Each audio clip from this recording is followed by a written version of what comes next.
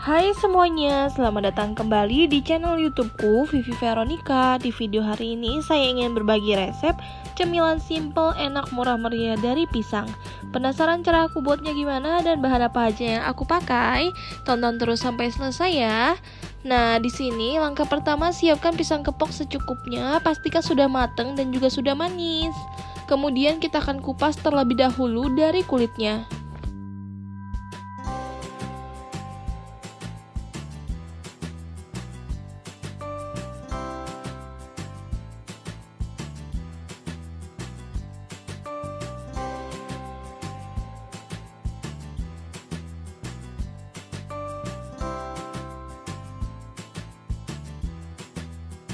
Kebetulan pisang yang saya gunakan ini ukurannya agak besar ya teman-teman.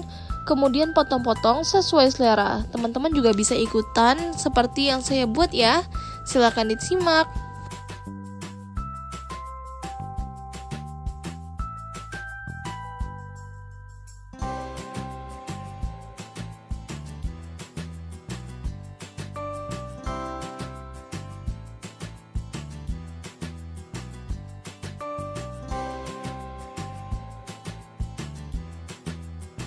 Nah, jadi saya potong kecil-kecil seperti ini ya, teman-teman. Selanjutnya siapkan juga kulit pangsit ataupun siapkan kulit lumpia juga boleh. Di sini aku pakai yang kulit pangsit aja ya. Kemudian potong-potong sesuai selera. Di sini aku potong dibagi menjadi dua bagian terlebih dahulu seperti ini. Kemudian potong kembali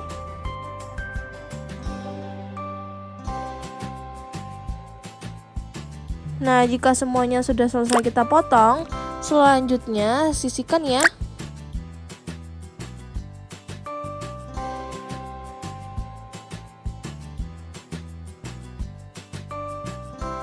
Ambil satu potong kulit pangsit dan isi dengan pisang secukupnya.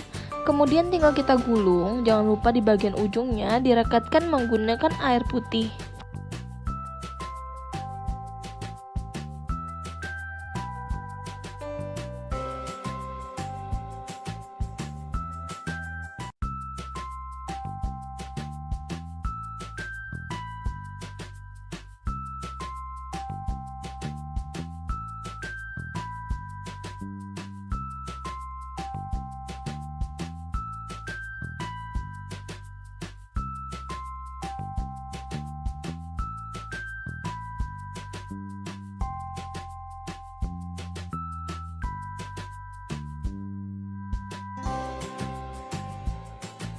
Lakukan hal yang sama sampai selesai. Buat teman-teman yang mau buat dalam porsi besar atau ukuran besar, boleh banget ya.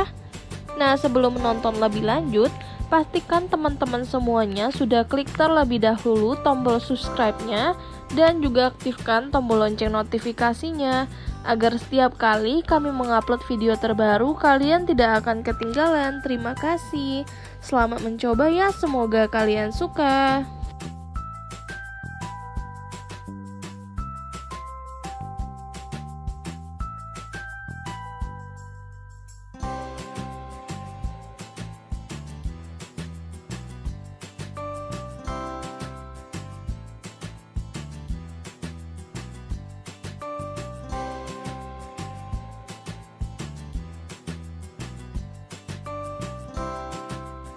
Nah, selain polosan seperti ini, teman-teman juga bisa tambahkan selai coklat atau meseseres atau keju ya. Jadi nanti lebih lumer, tapi kalau nggak mau juga nggak apa-apa. Sesuaikan aja dengan harga jual masing-masing ya teman-teman.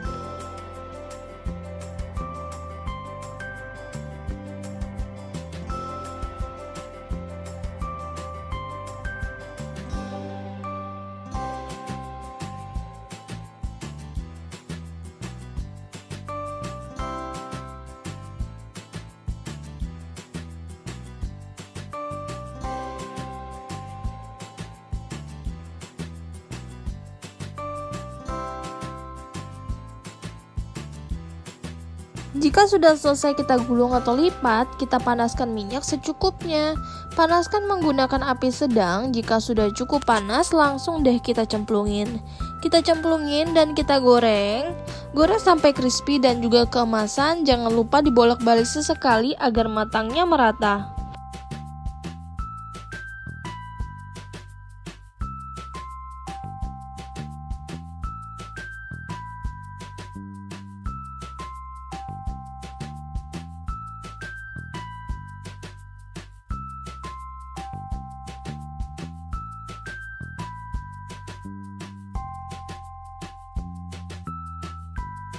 Setelah sudah matang, kita langsung aja tiriskan dan juga angkat ya teman-teman.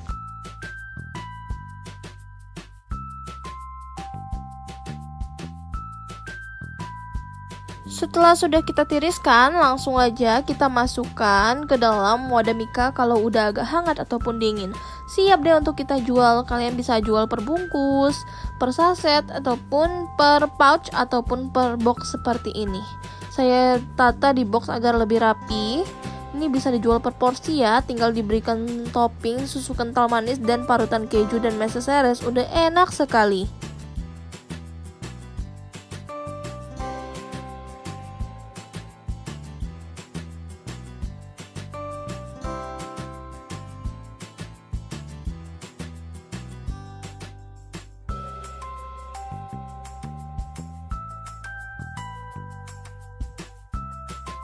Nah, ini juga bisa disajikan dengan selai coklat seperti ini ya, teman-teman.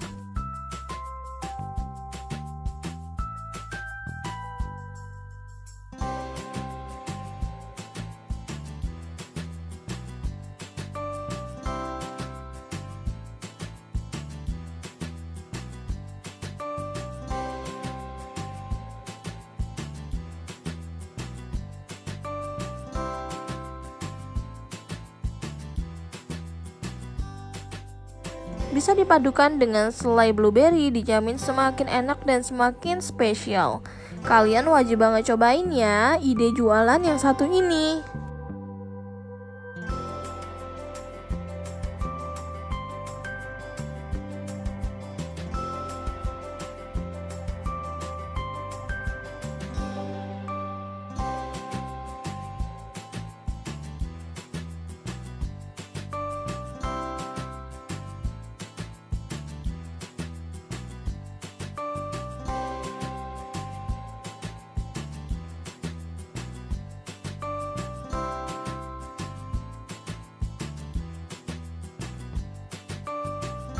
Untuk tampilan main ini udah juara banget, pasti bakalan jadi rebutan anak-anak sampai orang dewasa. Terima kasih sudah menonton video YouTube dari channel YouTubeku. Sampai jumpa kembali, semoga kalian suka ya. Selamat mencoba.